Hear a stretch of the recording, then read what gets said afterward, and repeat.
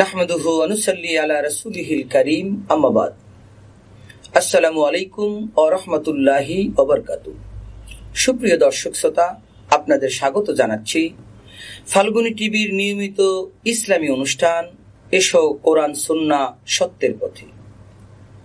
মাহে রমজান আত্মশুদ্ধির মাস, মাহে রমজান পরিশুদ্ধির মাস। প্রিয় দর্শক এই অনুষ্ঠানে আমরা জীবনের প্রয়োজনীয়, জীবন ঘনিষ্ঠ, গুরুত্বপূর্ণ বিভিন্ন বিষয় নিয়ে ইসলাম ধর্মের আলোচনা করে থাকি। আজ আমরা একটি গুরুত্বপূর্ণ বিষয় নিয়ে আলোচনা করার জন্য ফাল্গুনি টিভির স্টুডিওতে উপস্থিত হয়েছি। আর সে বিষয়টি হচ্ছে এতেকাফ। এতেকাফ কি? মহিলাদের এতেকাফের বিধান। এ প্রসঙ্গ আলোচনার জন্য আজকে আমাদের স্টুডিওতে উপস্থিত হয়েছেন দেশ বরণ্য দুইজন আলোচক, স্বনামধন্য মিডিয়া ব্যক্তিত্ব। আসুন, আমরা সর্বপ্রথম আপনাদেরকে আজকে সম্মানিত দুইজন আলোচকের সাথে পরিচয় করিয়ে দিচ্ছি। আমি প্রথমেই পরিচয় করিয়ে দিচ্ছি দেশের স্বনামধন্য আলেম, বাংলাদেশ মাদ্রাসা শিক্ষা বোর্ডের স্কলার বাংলাদেশ বেতার টেলিভিশনের সম্মানিত তাফসির কারক মিডিয়া ব্যক্তিত্ব আল্লামা মহিউদ্দিন খান ফারুকি সাহেব chairman Al Quran academy of Bangladesh হজরত আল্লামা মহিউদ্দিন খান ফারুকি সাহেব। আসসালামু আলাইকুম রহমতুল্লাহ ওয়ালাইকুম সালাম রহমতুল্লাহ ওবরকাত আমাদের আজকের আলোচ্য বিষয় হলো এতে কাফ কি? মহিলাদের এতে কাপের বিধান সম্পর্কে আমি প্রথমেই আল্লামা মহিউদ্দিন খান ফারুকি সাহেবের কাছে প্রশ্ন করব সম্মানিত আলোচক আপনি আমাদের ফাল্গুনি টিভির দর্শকদের উদ্দেশ্যে দয়া করে বলুন যে এতে কাফ কি বা এতে কাপ বলতে কি বুঝায় أعوذ بالله من الشيطان الرجيم بسم الله الرحمن الرحيم نحمده ونصلي على رسوله الكريم أما بعد قال الله تعالى في كلامه المجيد ولا تباشروهن وأنتم عاكفون في المساجد صدق الله العظيم সম্মানিত উপস্থাপক আপনাকে আন্তরিক ধন্যবাদ এরকম একটি গুরুত্বপূর্ণ বিষয়কে দর্শক শ্রোতাদের সামনে নিয়ে আসবার জন্য মহানবুল আলমিন এই এতেকাফের বিধান ওম্মাতে মোহাম্মদের জন্য নির্ধারণ করেছেন আপনি যদি কালামে হাকিম দেখেন সেখানে দুটি বিষয় পাওয়া যাবে আল্লাহ পাক রবুল্লা আলমিন হজরত ইব্রাহিম আলহিসাল্লাম হজরত ইসমাইল আলহিসাল্লামকে নির্দেশনা প্রদান করেছিলেন যে আমার ঘর বাইতুল্লাহ শরীফকে তোমরা এতে কাফকারীদের জন্য পবিত্র রাখো। আপনি যদি আল্লাহর কোরআনে প্রবেশ করেন, সেখানে আরও পাবেন। আল্লাহ পাক রবুল্লা আলমিন বলছেন যে তোমরা মসজিদে এতে কাফরত অবস্থায় নারীদের নিকটবর্তী হয়েও না, অর্থাৎ স্ত্রী সহবাসের ধারের কাছেও তোমরা যেও না। এতেকাফ একটি গুরুত্বপূর্ণ বিষয়। প্রথমেই আমাদের জানা দরকার এতেকাফটা কি আসলে? এতেকাফ এটার বাংলা অর্থ হচ্ছে নির্জন বাস। নির্জন নির্জন বাস একাকিত্ব অবস্থান করা। বিশেষত মাহে রমজানের শেষ দশ দিন শেষ দশ দিন এতে কাফ করতে হয়। এই ক্ষেত্রে বিশ রমজান সম্পূর্ণ হয়ে যাওয়ার পরে সূর্যাস্তের পরে মসজিদে প্রবেশ করতে হয় এবং ঈদ উল ফেতরের যে চাঁদ দেখা গেছে এই সংবাদটি পাবার পরে মসজিদ থেকে বের হতে হয়।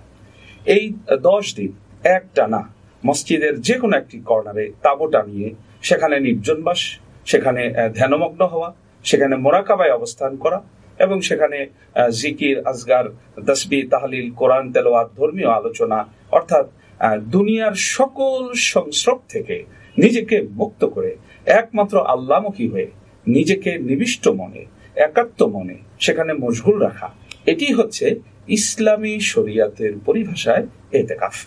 মানে নীরবে নিবৃতে নির্জনে একাকিত্ব হয়ে আল্লাহর ধ্যানে মশগুল থাকা এবাদাতে এটার নামই আপনি সুন্দর বলেছেন। সম্মানিত উপস্থাপক রাসুল করিম সাল্লাহ আলী হোসাল্লাম প্রত্যেক প্রত্যেক বছর মাহে রমজানে তিনি এই এতেকাফ করতেন। বিশেষত মদিনায় হিজরত করবার পরে। হাদিস শরীফে পাওয়া যায় রাসুল করিম সাল্লাহ আলী হোসাল্লাম মাহে রমজানের প্রথম দশ দিন যেমন তিনি এতেকাফ করেছেন দ্বিতীয় দশ দিন যেমন তিনি এতেকাফ করেছেন সর্বশেষ তৃতীয় দশ দিনেও তিনি এতেকাফ করেছেন। তবে সর্বশেষ তিনি নির্দেশনা প্রদান করেছেন তোমরা মাহে রমজানের সর্বশেষ যে নাজাতের দশক সেই দশককে এতেকাফের জন্য তোমরা নির্ধারণ করে নাও। মা আয়সা সিদ্দিকা রাদি আল্লাহ তালা আনহা হতে বর্ণিত হাদিসে রয়েছে যে আল্লাহ রসুল সাল্লাহ আলী হোসাল্লাম তার অফাতের পূর্ব পর্যন্ত তিনি প্রত্যেক মাহে রমজানে এই এতেকাফ তিনি করতেন। দেখা যায় যে প্রত্যেক বছর তিনি মাহে রমজানের শেষ দশকে দশ দিন এতেকাফ করতেন। কিন্তু যেই বছর রসুল করিম হোসাল্লাম অফাত লাভ করলেন, সেই সর্বশেষ যে মাহে রমজানটি তিনি পেয়েছিলেন, ওই মাহে রমজানে রাসুল করিম সাল্লাহ আলী সাল্লাম বিশ দিন তিনি এতেকাফ করেছিলেন।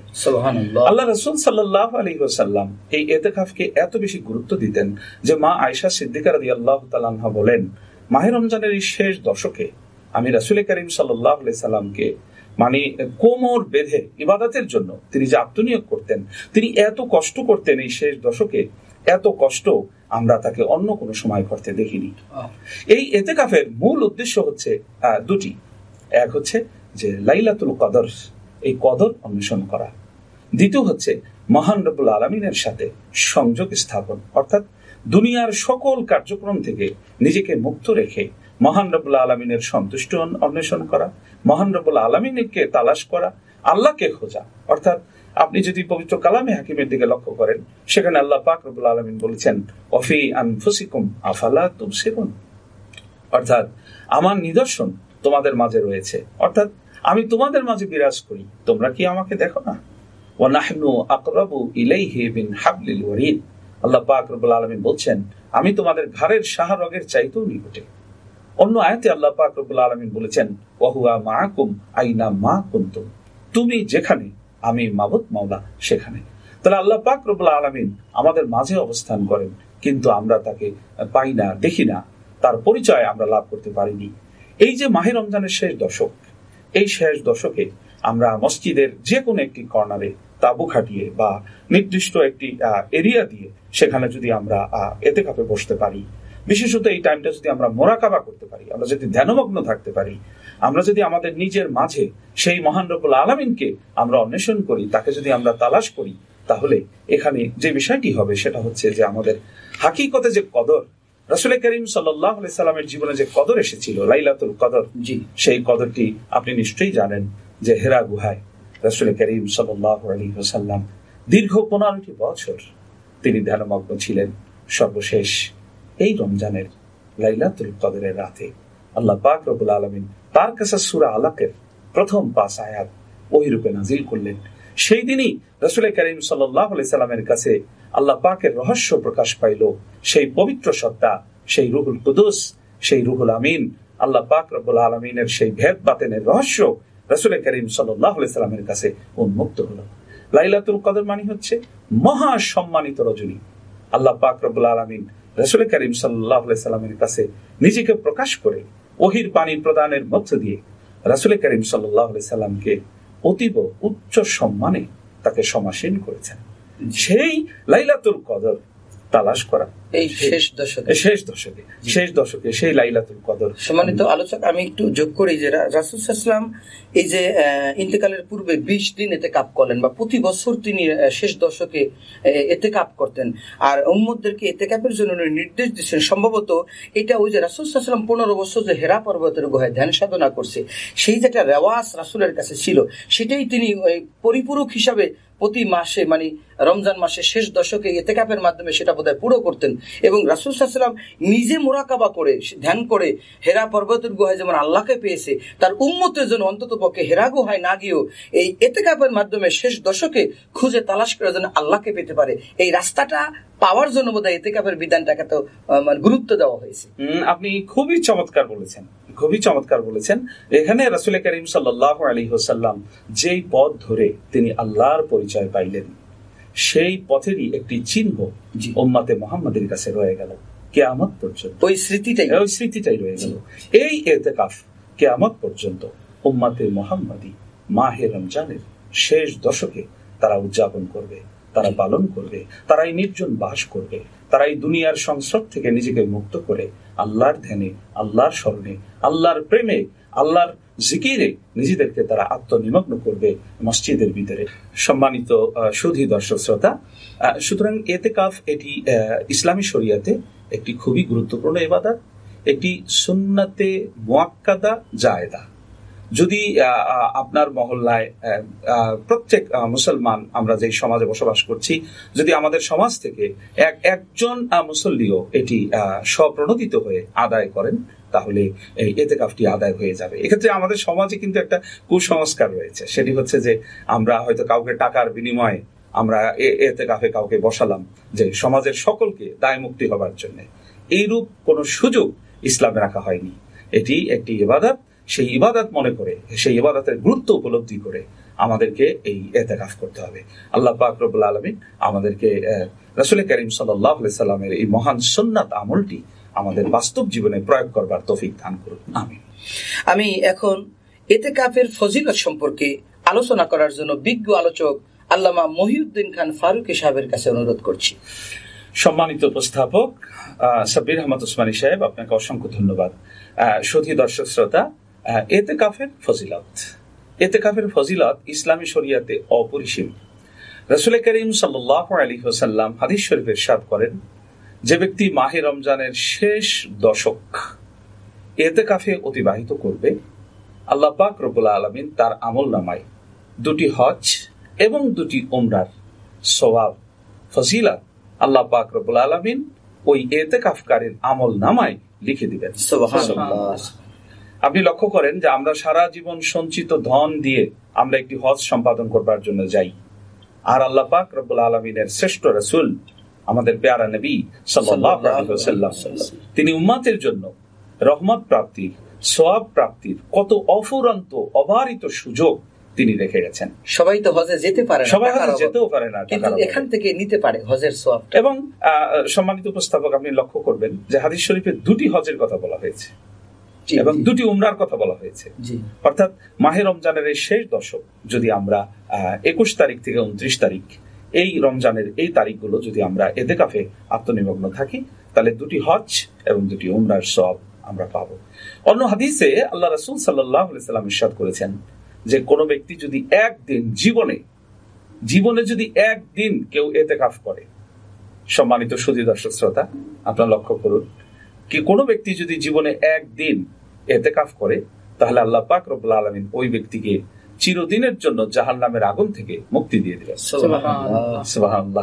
অর্থাৎ জীবনে একটি দিন আপনি মোরাকাবা করেছেন আপনি এতে কাফ করে আল্লাহ পাককে অনুসন্ধান করেছেন আপনার যে মহান মালিক যিনি আপনাকে সৃষ্টি করেছেন যিনি এই মহাবিশ্ব সৃষ্টি করেছেন যার অস্তিত্ব আপনার মাঝেই নিহিত আপনি যদি একটা দিন অর্থাৎ একদিন এবং এক রাত আপনি যদি এতেকাফ করে সেই মহান মালিককে নিজের মাঝে অনুসন্ধান করেন।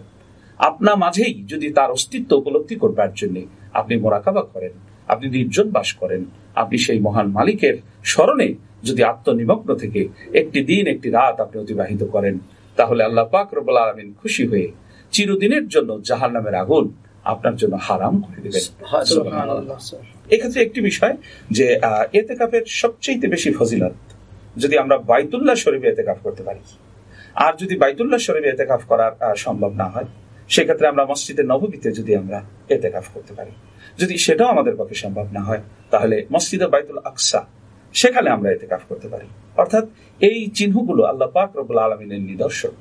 সেখানেও যদি আমরা এতে কাপ করতে না পারি, তাহলে আমরা যে মহল্লায় বসবাস করছি যেই শহরে বসবাস করছি, ওখানে যেই জামে মসজিদটি রয়েছে যে মসজিদে জুমা হয় যেখানে পাঁচ অক্ট সালাদ নামাজের জামাতের সাথে হয়, আর সেখানে আমরা এতে কাফের জন্য নির্ধারণ করে নিতে পারি। এক্ষেত্রে আরও একটি বিষয় লক্ষণীয়, সেটি হচ্ছে যিনি এতে কাফ করবেন, তাকে লক্ষ্য রাখতে হবে, মসজিদের পবিত্রতা যেন বিনষ্ট না।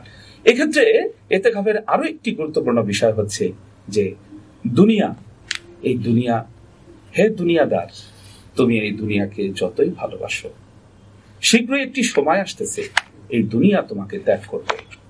মরার আগে যে মরার বিদ্যা শেখা, অর্থাৎ এই দেহের মাঝে রুহু থাকতেই এই পৃথিবীর মায়া, মহব্বত, ভালোবাসা, এটা পরিত্যাগ করে আল্লাহর স্মরণে, আল্লাহর প্রেমে, আল্লাহর সন্ধানে আত্মনিমগ্ন করবার প্রশিক্ষণ এই এতেকাফ আমাদের দিয়ে থাকে। এতেকাফের সবচেয়ে বড় যে ফজিলত, সেই ফজিলতটি হচ্ছে এতেকাফ একজন মানুষকে দুনিয়ার সংসর্গ থেকে মুক্ত করে তারা আল্লাহর সাথে মিলিত করে তাকে হাবিবুল্লাহ আল্লাহর অলির মর্যাদায় পর্যন্ত। মুতু আন্তা কবলা মৌত। তোমরা মরার আগে মরার বিদ্যা শিখো। এই এতেকাফের মাধ্যমে প্র্যাকটিসটা করা যায়। সঠিক সঠিক। তা আমি দর্শক শ্রোতাদেরকে অনুরোধ করব যদি আমাদের সুযোগ থাকে আমরা মাহে রমজানের এই শেষ দশক আমরা এতে কাফের এই এই মহান এই নিয়ামতটি আমরা অবশ্যই এটি আমল করব। এই আমলের মধ্য দিয়ে এই অফুরন্ত সোয়াব আমরা হাসিল করব। আল্লাহ পাক রবুল আলমিন আমাদেরকে সেই তৌফিক দান করুন আমিন। হাজা মা ইনদি ওয়াল ইলমু মিনাল্লাহ আলাইহি তাওয়াক্কালতু ওয়া ইলাইহি। ধন্যবাদ সম্মানিত আলোচক। নারীদের যে ইন্টারনাল যে প্রবলেমগুলো সমস্যার কারণে এতেকাপ ভঙ্গ হয়ে গেলে সে এটা এই সময়টা পার হয়ে গেলে কি সেই এতেকাপে আবার সংযোগ দিতে হবে? আরও এই ক্ষেত্রে হবে? হ্যাঁ, এই ক্ষেত্রে সাবির আহমদ উসমানী সাহেব সম্মানিত উপস্থাপক আপনি সুন্দর একটি কথা বলেছেন যে একজন নারী সে তার স্বামীর অনুমতি নিয়ে সে কিন্তু এতে কাপে বসল। বসার পরে এতে কাপের মাঝামাঝি পর্যায়ে যাওয়ার পরে দেখা গেল তার পিরিয়ড শুরু হয়ে গেছে। পিরিয়ড শুরু হওয়ার সাথে সাথে তার এতে কাপটি ভঙ্গ হয়ে যাবে। এই ক্ষেত্রে পরবর্তীতে একদিন এবং এক রাতের জন্য। সে এই এতে কাপের কাজাটি আদায় করে নেবে। যদি রমজানের এই মানে ঈদের চাঁদ ওঠার পূর্বে সময়টা না হয় তখন কি করবে? হ্যাঁ, ঈদের পরবর্তী- অবশ্যই ঈদের পরবর্তীতে অবশ্যই এটা ঈদের আর যদি এর আগে সময় থাকে তাহলে ওটা পারবে। হ্যাঁ, এর আগে সম্ভবত আর সুযোগ হবে না তার। কারণ পিরিয়ডের তো একটা নির্দিষ্ট সময় যদি হয় বিশ তারিখ থেকে তিরিশ সম্ভাবনা তারিখ। নেই সম্ভাবনা নেই সম্ভাবনা নেই। সেক্ষেত্রে সেই ঈদের পরেই করবে। মুদ্দতের যে বিষয়টা আছে ওই হিসেবে দেখা যাচ্ছে যে ওই দশ দিনের ভিতরে আর পসিবল হওয়া সম্ভব নয়। আচ্ছা আচ্ছা ওই দশ দিনের ভিতরে পসিবল হবে না তাহলে মহিলাদের এই আলাদা এক্সট্রা এতটুকু তাদের জন্য মসজিদে যেতে হবে না নিরালা নিবৃতে কোলাহল মুক্ত ঘরের একটি কোনায় স্বামীর অনুমতি নামাজ সাপেক্ষে ঘর, নামাজ নামাজ ঘর। ঘর। পর্দা সেটাকে maintain নামাজ ঘর। করে, পর্দাটা maintain maintain করে। করে। এই ক্ষেত্রে আহ, আহ, প্রাজ্ঞ উপস্থাপক একটি কথা বলা খুবই জরুরি সেটা হচ্ছে যে আহ, বিশ্ব ইসলামিক স্কলারদের ভিতরে এই বিষয়টা নিয়ে বিতর্ক রয়েছে কেউ বলেছেন যে মসজিদ ছাড়া এতেকাফ নয় হুম। কারণ আল্লাহ পাক রবুল আলমিন কালামে হাকিমের ভিতরে তিনি এই এতেকাফকে মসজিদের সাথে সম্পৃক্ত করে উল্লেখ করেছেন। তবে আমাদের হানাফি মাযহাবের হজরতুল্লামা ইকরাম এবং ফোকাহ ইকরামগণ তারা বলেছেন যেহেতু রাসুল করিম সাল্লাহ সাল্লামের যুগে নারীরা মসজিদে গিয়ে নামাজ পড়তো। এখন আমাদের সেই পরিবেশটা নাই। এখন নারীরা সাধারণত ঘরেই নামাজ পড়ে। সুতরাং নামাজের মতো একটি ইবাদত যেহেতু মসজিদ থেকে নারীদের জন্য ঘরে ট্রান্সফার হয়েছে এই ক্ষেত্রে এতেকাফটিও তারা তাদের যে ঘরে তারা বসবাস করছে। সেখানে একটি নামাজের ঘর তাদের জন্য নির্ধারিত থাকে সাধারণত। ওখানে পর্দা খাটিয়ে তারা এতে জি।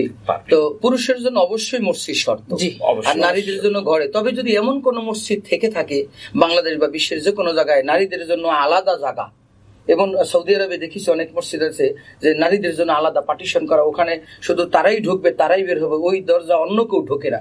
এরকম পরিবেশ হ্যাঁ, অবশ্যই তাদের প্রাইভেসি রক্ষা করে যদি পসিবল হয় তাহলে রক্ষা করে, পুরুষের হ্যাঁ, কোনো যাতায়াত নাই।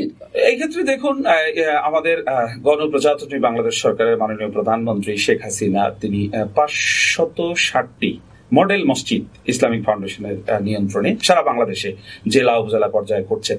প্রত্যেকটি মসজিদে কিন্তু আপনি শুনলে খুশি হবেন এই নারীদের জন্য নামাজের সুব্যবস্থা নেশা সে রাখার ব্যবস্থা এই ক্ষেত্রে নারীরা তো মসজিদে গিয়েই নামাজ পড়ার কথা ছিল। যেহেতু তাদের নিরাপত্তার বিষয়টি এবং সামাজিক একটি অবক্ষয়ের আশঙ্কা থেকে যায় সেখান থেকেই এটিকে কিন্তু কামব্যাক করা হয়েছে। তো যদি মসজিদটি ওইভাবে নির্মাণ করা হয়ে থাকে যে নারীদের জন্য শতভাগ নিরাপদ আরব কান্ট্রিতে প্রত্যেকটা মসজিদে নারীদের জন্য আলাদা একটা সাইট জায়গা আছে। আমি নিজে দেখেছি অনেক জায়গায়। আপনি তো সমগ্র আরব ভ্রমণ করেছেন সমগ্র আরব জাহান ভ্রমণ করেছেন। তো আমাদের মাননীয় প্রধানমন্ত্রীর মাধ্যমে মডেল মসজিদগুলোর মাধ্যমে নারীদের নামাজের একটা সুবিধা আসছে হ্যাঁ, আসতেছে, বাইতুল। মোকারমে এই সিস্টেমটা আছে। হ্যাঁ আমাদের ন্যাশনাল জাতীয় মসজিদ বাইতুল মোকাররমে বর্তমানে ওই ব্যবস্থাটি আছে। জি ধন্যবাদ সম্মানিত আলোচক। দুইজন প্রাজ্ঞ বিজ্ঞ আলোচকের কাছ থেকে আমরা অত্যন্ত সুন্দর চমৎকার গুরুত্বপূর্ণ এতেকাফের আলোচনা এতক্ষণ শুনতেছিলাম। এতেকাফ কি, এতেকাফের ফজিলত কি, কোরআন এবং হাদিসের আলোকে- আলোকে এতেকাফের ব্যাপারে আল্লাহ রাসুল কি বলেছেন এবং সর্বশেষ আমরা জানলাম এতেকাফের মহিলাদের এতেকাফের বিধান সম্পর্কে।